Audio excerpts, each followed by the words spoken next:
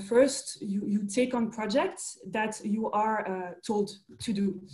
Uh, but slowly you start making your own opinion. So, you know, you start challenging your, your own projects and you ask yourself, what value uh, are these projects really bringing? Um, and, you know, when I was uh, defending my projects, pushing them to make it launch on time and sometimes also pushing them to some countries that didn't necessarily see the use, um, I, I, slowly realized that um, you know taking orders was um, it, it, it, was it was easy and it was cool, uh, but I still had a brain and I still had values and opinions, and uh, I really wanted to get them out there uh, too. So um, the first uh, slide uh, here is, uh, and this is also my first lesson and big lesson, is to know your values and know your purpose. So what happens once you get busy with uh, working full time, uh, often we forget to step back and to really think about our why. So when we fail to step back uh, and reassess our actions, uh, sometimes it can lead to uh, what I believe is not necessarily a bad thing that can happen to an individual, but we call it a burnout. It's actually a big thing in Europe. Uh, but it doesn't always have to reach that point. So whether your, your dream is to bring world peace or to make the world more sustainable or to bring a smile uh, to people's face, uh, it's important to really take the time to think about your why. And you need to be honest with yourself. Like, uh, what are really your values? And is what you are doing on a day to day basis align with those values? If not, what are the compromises that are you taking and what is your exit plan if those values start to become too violated? My, my strongest value um, is that doing something good uh, and uh, making money uh, is not the opposite because uh, ultimately, you know, the value you bring um, to a consumer uh, is defined by an individual. So it is defined by one person.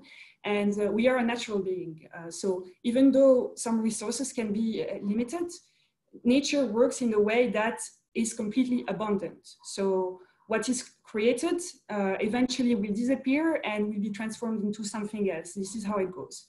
So often we are the one who, who fuck it up uh, with uh, you know win or lose mindsets, and we, we see compromises where actually there are no compromises. So don't feel like a fool for wanting to make the world a better place. And why is it very critical uh, right now? Because, uh, well, we are in a post-apocalyptic world, or maybe a pre-apocalyptic world, I don't know. Uh, but uh, the thing is that uh, the services, uh, you know, hardware, uh, digital products, and also physical products that are delivered to people's uh, home are being completely reinvented. So now is really the time. And if we don't push for the changes that we want to see in our generation, then nobody else will.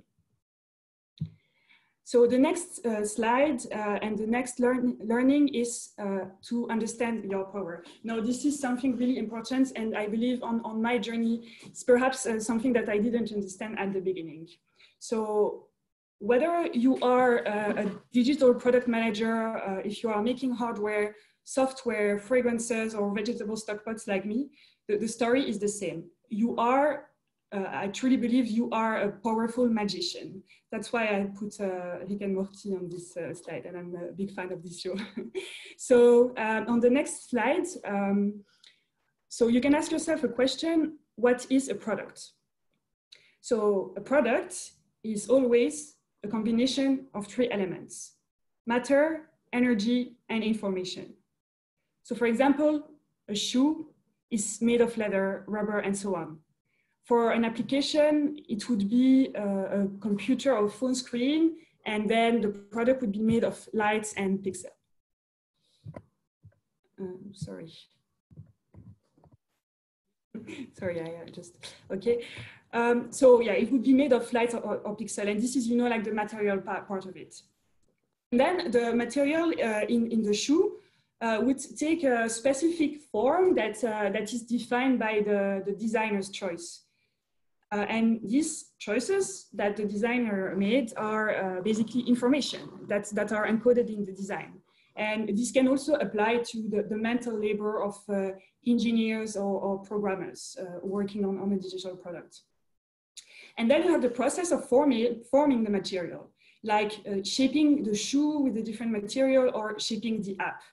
And uh, this process requires the application of energy that is guided by information.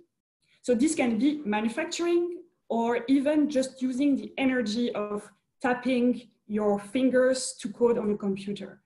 Uh, and at the end of this process, product that you can deliver, um, uh, uh the product will deliver value to customers or to individual. And that's why I really believe that makes you a magician because you know with your fingers you can make something something real and something material. And so with, with that power that you have, you are actively creating the future you live in. So never underestimate that, uh, that power, regardless of, of, whether you are started, starter in your field or if you are a manager, if you're super experienced your power is always this fresh energy, even if you lack experience into something, because uh, what is experience when, when you can do magics. Next uh, lesson uh, and next slide is trust your guts. This is super important. Trusting your guts does not happen overnight. For me, there was really a before and after. Uh, and uh, especially getting other people to trust your guts is even harder. But it was extremely critical for me when I realized I really had to, to keep standing for what I believe in. And uh, even if that meant uh, using different type of influence when you could not really influence the, the process, for example, uh, if you go and whisper an idea into the ear of some highly influential person, uh, and then you make that person think that this idea is their idea, uh, and then you step back and, and you watch things happen and, and, you watch this person selling this idea and, and you, you see it happening in reality.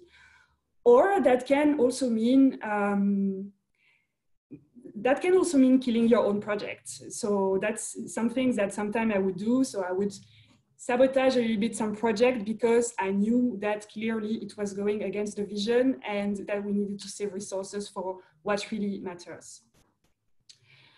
Uh, then uh, on the next slide, no, the slide after that, yes, learn to influence and to kill, uh, get the right allies. Uh, again, I put the avatar because I'm a big fan of this show. It's one of my favorite uh, hero, you know, the airbender. Uh, so yeah, get the right ally. So see, you may have a boss that will uh, never um, encourage you to trust your guts. Uh, and one of my big learning, you know, in business is really to stay away from this type of boss. You can go to the next slide. So if you don't see yourself becoming like your boss, uh, do not work from, for, for them. I know it's easier said than done, but when you think about it, if you stay too long, you, you will become like that eventually. But if you must be patient, which had been my case in the past, what you can do is find a, a coach or a mentor within your company and um, ask them for support or guidance. Find someone who has more power than you um, in, in the structure, uh, but also someone who resonates with you and with your values. This was one of my first move, and uh, luckily my mentor eventually became my boss. So besides a mentor or a coach, uh, you may also want to find uh, allies who share your vision. So that could be like colleagues. So on a day-to-day -day basis, uh, something you can do is to, to bring up uh, questions and perspectives that might be overlooked uh, generally. For example, um, you know, ask for a sustainability, sustainability assessment aside of the business case to guide a certain decision or bring a point about data privacy where you see that something has been overlooked. Uh, that way, you, you, you build an environment of trust around you and your allies um, will feel safe to do the same. And you, you might be extremely surprised to find out how many people care. Uh, but uh, it's just that a lot of them do not dare to burst the bubble. Uh, so uh, the next learning is uh, resistance to change. So resistance to change is, is only human. So like any you know newcomer in any job in any industry, one of the first trauma you, you, you will have is the good old resistance to change. Uh, but where does this resistance come from? So one of the big reason is um, the fear of the unknown and the fear of failure. So people are resistant to change until they realize it's necessary to relieve some pain. Uh, next slide. And it is your job to discover the extent of that pain. So it's your job to highlight how the risks of standing still are greater than the risk of moving into another direction.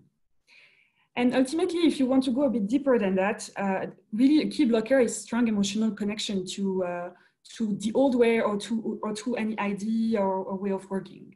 Um, and it's very difficult, even within yourself, to accept that everything is temporary, especially in business. Um, but no, the goal is to trigger that acceptance uh, in, within other people. Uh, and that requires a bit of you know emotional work, uh, which is not always easy. For me, it's not my uh, my strength point, but it's necessary to really you know give that confidence to a human being that is in front of you um, to move forward. Uh, um, then uh, next slide. So my sixth learning is uh, to choose your battle wisely. My motto is always go where you can build the new rather than fight the old. Uh, I would say, like in general, directly uh, attacking the core business and the profitability drivers is, is harder or just a bad idea. Um, but uh, the best way to go usually is to find ways to demonstrate growth through uh, innovations. Um, so by doing so, you, you focus on the value proposition really for the consumer. Um, so products and brands that claim to be doing good uh, are proven to, to do better also in business, but it's, it's not enough. They also need to deliver actual value, um, actual incremental value. So really the best way to build credibility for yourself and for, for, for your ideas and, and your values is by going after proving, proving the concept step by step. Uh, the, the way I did it was convincing stakeholders to experiment with uh, new brands within certain consumer segments where we had many assumptions to test. Um, that way, we didn't have to use the big brands. We didn't have to take risks to lose some business. Uh, and so worst case, we were not losing anything. Best case, uh, or we were not losing much. Best case, we would, uh, we would be making millions. And this is what happened. Another way you can do it is to add, you know, a small, small part to, to the business model that would not completely change the business model, but uh, that would make it a little bit better. And also that would not completely harm the profit. So for example, uh, buy one pair of glasses, give one for free to someone in need when you order it online or something like that. And then uh, my, the seventh learning um, is be ready to fail. Uh, so if you go to the next slide, the slide after. So be ready to fail and be ready to fail a lot. Because uh, not not everything uh, that that is uh, the right thing to do works out definitely not. And also be ready to have your failures used against you um, sometimes. The key is is to remain aligned with your values like a bit like you know your your north star which guides your decision and your actions no matter what happens around you uh, I, I have failed many, many times and I have hurt many egos by sticking to my values in everything I do. I'm not gonna lie. So I even had uh, received disciplinary warnings um, for challenging too much um, the, status quo, the status quo or for pushing some projects a little bit too much. But, uh, you know, for, for, in, in one case, for example, when I, I lost a battle uh, and uh, the, the, project ended up being killed. Uh, but then I changed role a few months after, and turns out that the competitor launched that, that same project and, and took the market. and guess what? Then I got an apology. You know, so it's important to you know be really true to yourself. And I will also be honest with telling you that it's not always easy because in the corporate world, uh, and I think uh, in, a lot of uh, structure, being liked it, it, seems to be the most important thing. Um, but you, you don't have to agree with that because when you think about it, uh, not everyone, um, you know, the, the, the, people who have done really great things and achieved great things, uh, I don't know any of them who hasn't been criticized, who hasn't been disliked, or who hasn't failed. So that's it for, uh, for my lessons. I hope they were uh, useful to you and uh, I give the floor to you for any question you have. about uh, the topic, about my experience, or uh, anything else.